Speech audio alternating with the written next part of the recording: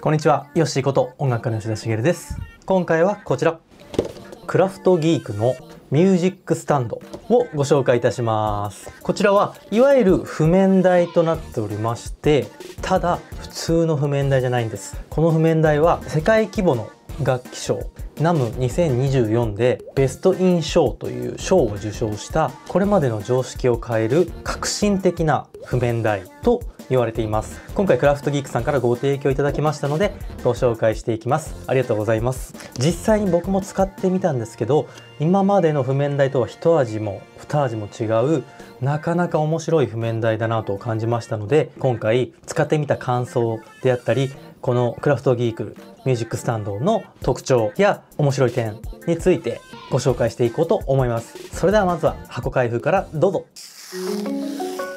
では箱開封していきます。今回はねコンチェルトコンボと言いましてスタンド本体に付属品バッグとデバイスホルダーライトが付いたセットをご紹介していきますね。まずは本体の方を開けていきますね。結構箱かっこいいですね。デザインがいいですうん。はい。中を開けるとこのような形でクイックスタートガイドが付いてますね。うん。これ見ながらやってみましょうね。はい。そして本体。うん。あなるほど。思ったより多少の重量感はありますね。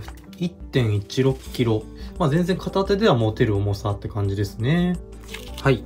詳しいユーザーマニュアルが入っています。素晴らしい日本語も対応してますね。いいですね。はい、では、これがね、持ち運び用のバッグですね。はい、オプションでの付属品です。中にね、こういうベルトが入ってるので、肩掛けして持っていけますね。こんな感じ。はい。で、入れてみましょう。はい。うん、いいね。すっぽり入って、気持ちいいです。と、オプションの付属品のライト。もう一つが、スマホのスタンドですね。となってます。開けてみましょう。同じく、中に説明書が入っています。うん。暗いところでも使えるって感じですね。ここで、うん、電池式だね。これネジで開けて、電池を入れるタイプになってるね。はい。このネジ式ちょっと嫌いなんだよな。ねいざという時開けられなかったりするから。ただ USB-C でも給電できるみたいですね。はい。はい。後ほどね、譜面台につけてみようと思います。中開けると、こんな感じで、炭酸電池ですね。付属してないので、えー自分で用意する必要があります。よいしょ。はい。で、ネジ締めておきます。はい。この横のスイッチで2段階。はい。2段階の明るさで付けられます。こちらがスマホのマウントホルダーですね。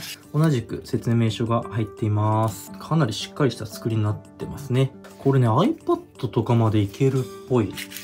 これめちゃくちゃ便利ですね。あの、ここの背面のところのボタンを押すと、大きくすることができで、iPad をこれ挟めますね。こっから伸ばせるんで、ちょっとやってみましょうか。こんな感じバッチリ挟めちゃいますね。これ便利ですね。iPad をね、まあデジタル譜面として使う人も多いと思うので、とってもいいなと思います。で、スマホで使うときはここを閉じて、ここで挟めば。はい。これいいですね。ということで箱の中身、今回コンチェルトコンボというね、えーま本体と付属品のセットになりますが、譜面台、えー説明書、スタートアップガイド、そしてライト、そしてスマホホルダー、まあ、各説明書、そしてですね、持ち運び用のケースとなりました。では続いて、こちらのね、譜面台をね、使っていきましょう。では、譜面台組み立てていこうと思います。このね、クイックスタートガイドに沿ってやっていきますね。まずは、オープン。こう開ける。はいはい。ここをツイスト。そうするとここのロックが外れて足の部分が開くようですね。はいはいはい。開いて自動的に開くと。はい。この辺置きますか？高さ調整はこれ面白いですね。もう伸ばした分だけ固定されるようですね。よいしょ。こんな感じで面白い。普通はねネジで固定しますけどこんな感じで自由自在に高さが調整できますでじゃあ一旦このぐらいにして次はこう開くとはいで上も開くはいでこの真ん中のところがちょっと見えづらいですね。真ん中のところがこうスライドされてこうなると。おすごいなこれ。であとはまあ好きなようにしてくださいみたいな感じで角度はここのネジで緩めてうんうんうん。自由にできますよと。こういう風にできます。多分閉める閉めると動かなくなるね。うん。なんか今までの譜面台と違うな。これ挟めるのか。でちょっとここ今シールになってますけど剥がすとゴムになってますね。はい。いいですね。これは面白い。ちょっと置いてみますか。譜面。じゃあちっちゃめの譜面とやや大きめプラス厚めのスコアですね。を持ってきたんで置いてみようと思います。ちっちゃめのやつか。うん。こんな感じでこうやって。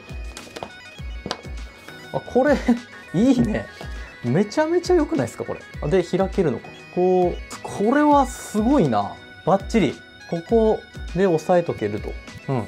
で高さはこっちはいらなかったけどね。うんうん。いいぞ。とってもいいですねこれ。これあの本のサイズに合わせてここが変えられるのがすごくいいですね。はい。今ちょうど合わせて変えました。ではちょっと大きめの譜面をちょっとじゃあ置いてみましょうか。大きいんでねだいぶあと厚さもあるんでねだいぶ困りますけどうんバッチリ。すごいなこれ。おーすごいね。いやこれいいですよ。はい。このページのめくるのも結構良さそうだな。はい。でちょっと使っただけでもかなり良さを実感できてます。はい。今までのやっぱ譜面台とはだいぶ使い勝手が違うね。うんうん。ああそうかここが変えられるからこういう風な使い方もできますよみたいに書いてありましたね説明書に。うん。より安定感増すのかな。で角度も緩めてうん使うと。これはで高さもすぐに変えられてで高さに関してはねこう普通はこうネジ止めというかねこう回して止めないといけないんですけどそれがないっていうのまたいいです。うん。はい付属品もつけてみましょうか。付属品も取り付けてみました。いい感じですね。ここにライトとここにスマホホルダーを取り付けてます。これはね先ほどご説明した通り iPad とかでも簡単に取り付けることができます。ライトつけてみましょうか。真っ暗じゃないんで分かりづらいんですけどライトもバッチリ機能しています。最後にまとめとこのミュージックスタンドのスペックご紹介していきます。まずこの高さなんですけどもだいぶ幅広く調整可能で最小が74センチ最大が168センチまで伸びますということです。はい。まあ立って演奏する時も座って演奏する時も自在に使えることができるといった形ですね。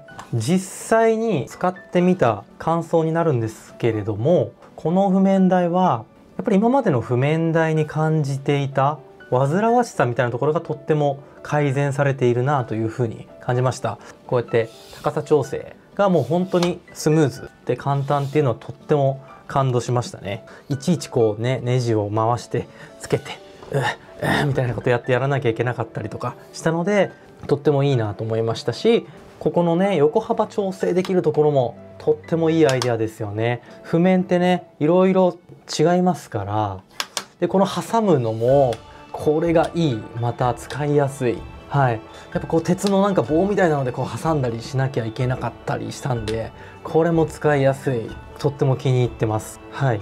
で結構足の部分もこれ見ていただいた通り結構広いので安定性もある程度は確保できるのかなと思っています。ね屋外とかで使う場合もあるので風でどれだけ煽られて大丈夫かとかねその辺が気になるところではあるんですけどもまあすごい強風でなければ問題なくある程度こうボディに重さもあるので問題なく使っていけるのかなと思います。ちょっとその辺は今後のライブに使ってみて検証していこうかなと思っています。あとは何といってもこの片付ける時の楽さがすごいいい、うん、こうやって閉じてやって。これでうんなんかねやっぱ譜面台使ったことある人分かると思うんですけどギシギシしてて指挟みそうとかね、指挟んで怪我した人とかもいると思うんですよ。そういう心配は結構少なくて、安全に持ち運びできて、まあこれを別売りにはなりますけど、このケースに入れて、さっと持っていける。とってもいいなと思いました。はい。あられる意味で革新的な譜面台だなとこれ忖度なしにね感じることができました。今後ねどんどん使っていこうと思っています。是非皆さんも気になる方は概要欄のリンクからご覧いただければと思います。今回カラーね黒でご紹介しましたけど黒とシルバーの2色展開になっています。是非ね自宅の練習だったりライブシーンなど幅広い場所で活躍してくれる譜面台だと思いますので、えー、ぜチェックしてみてください。最後までご覧いただきありがとうございました。今回は革新的な譜面台。クラフトギークのミュージックスタンドをご紹介してまいりました。えー、譜面台単品でも売ってますし今回僕がご紹介したコンチェルトセット付属品がついてるものも販売してますので是非ねどちらがいいか検討してみてください。ライトはね暗いとこで演奏しない人は必要ないかもしれないですけどスマホホルダーあれはタブレットも固定できますしかなり使い勝手がいいかなと思いました。是非ね検討してみてください。この動画がね少しでも役に立った面白かったなどあれば是非グッドボタンチャンネル登録のご支援をよろしくお願いいたします。それと僕 SNS X、Instagram、TikTok やっておりますのでそちらも概要欄からフォローしていただけると嬉しいです。質問やねコメントなどあれば下のコメント欄にお書きください。それではまた次の動画でお会いしましょう。バイバイ。